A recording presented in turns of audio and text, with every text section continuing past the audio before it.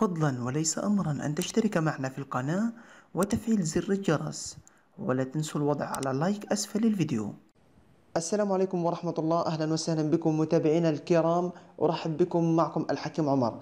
رجعنا لكم في فيديو جديد. اليوم راح نتكلم إن شاء الله في هذا الفيديو على الإمساك وراح نتكلم على التخسيس وراح نتكلم على سبل الوقاية وطريقة تخفيف هذه المشكلة وممكن إنك تعالج نفسك بأشياء بسيطة وسهلة جدا. راح نتكلم فيها التخسيس وراح نتكلم عن الإمساك بشكل عام وطريقة الوقاية وطريقة التخلص من الإمساك. ونتطرق أيضا لهذه المكونات البسيطة والسهلة جدا المتوفرة أيضا في كل بيت. هذه المكونات يعني متوفرة في كل بيت. نبدأ ب آه، أول طريقة من طرق آه، تخفيف الوزن. وعلاج الإمساك وهي ممتازة جدا هو التفاح. التفاح كما تشاهدون إخواننا الكرام هذا التفاح يحتوي على الكثير من المغذيات والعناصر الغذائية بالإضافة إلى أنه يحتوي على الفايبرز يعني الألياف. طبعا الألياف هذه هي أساس شغلها على الإمساك.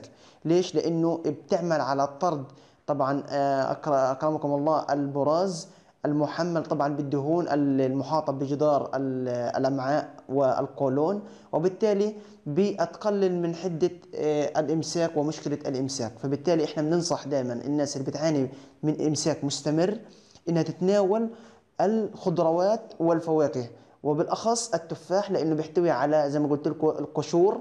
طبعا أهم شيء تتناولوا بقشوره لأنه بيحتوي على الفايبرز آه، زي ما قلت لكم. وكمان ممكن إحنا نتناول من الخضروات أهم شيء برضو الخس.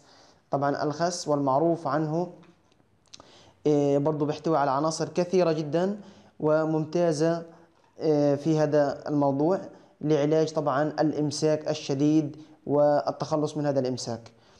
طبعا في بعض الناس وبعض الإخوة والأخوات بيحبوا يعملوا عملية تخسيس للوزن وطرد سموم القولون وطرد سموم البطن بطريقة تبقى هيك آمنة جدا يعني. فإحنا بننصحهم إحنا بننصح طبعا الإخوة والأخوات إنهم يستعملوا آه، كاس ماء دافئ. هذا يعني أقل شيء ممكن إنه إحنا نقدمه لهم في هذا الموضوع كاس ماء دافئ مضاف إليه طبعا بعض من قطرات الليمون يعني بنصف آه، طبعا هذه الليمونه نقوم بقطعها ونضع بعض قطرات الليمون ونقوم بشرب كاسة صباحا من الماء الدافئ بالليمون وكاسة مساء. طبعا هذه طريقة التخسيس نقوم باستعمالها يعني يوميا وأهم شيء المداومة على شرب هذه الكاسة تقوم بطرد السموم وطرد الدهون المحاطة بالأمعاء وأيضا التخلص من الكرش والتخلص من آه، طبعا آه، هذه السموم.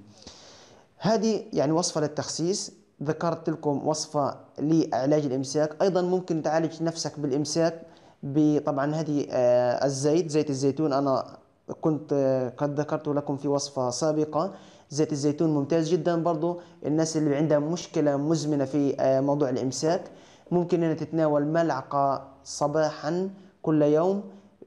أكيد بتخفف المشكلة هذه وبتخلي يعني هناك في ليونة في الأمعاء وفي يعني نوع من آه، السلس. فطبعا هذه آه، الوصفة الثانية في موضوع الإمساك. بالنسبة للتخسيس أنا أنصحكم في مشروب الليمون.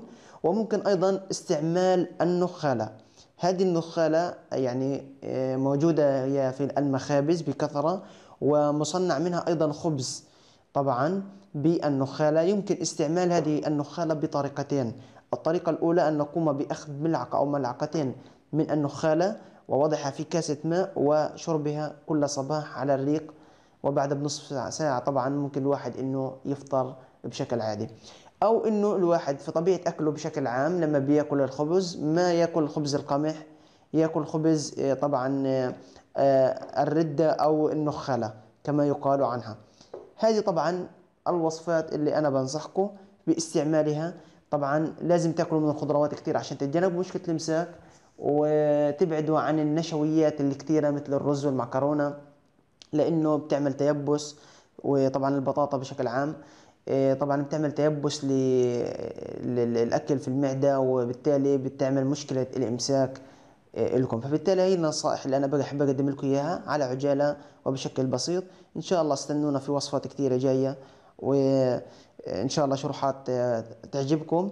إذا عجبكم هذا الفيديو طبعا ما تب ما تنسوا تضغطوا على ال like أسفل الفيديو والاشتراك بالقناة وتفعيل زر الجرس و share عبر شبكات التواصل الاجتماعي والواتساب كي يعني ينتقل هذا الفيديو إلى آه، مزيد من الإخوة ويستفيد منه الجميع. ولا تدعوا يقف عندك وانتظروني إن شاء الله. والسلام عليكم ورحمة الله.